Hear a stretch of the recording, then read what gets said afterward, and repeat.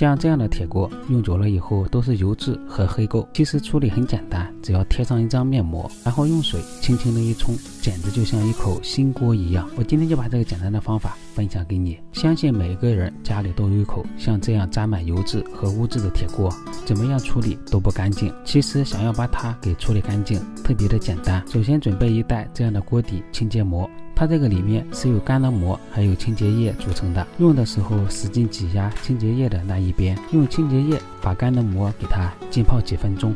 充分的给它泡透，然后再把膜给它撑开，把整个锅底都给它贴满，最后剩的清洁液也倒进来，然后再用赠送的垃圾袋包裹起来，防止流的到处都是。放在一边静置一夜，如果油脂比较厚的话，静置一天一夜。时间到了以后拿出来，用这个清洁膜把锅底全部再给它擦两遍，再用清水轻轻的一冲就掉了。用纸巾擦干净以后，这简直就是一口新的锅。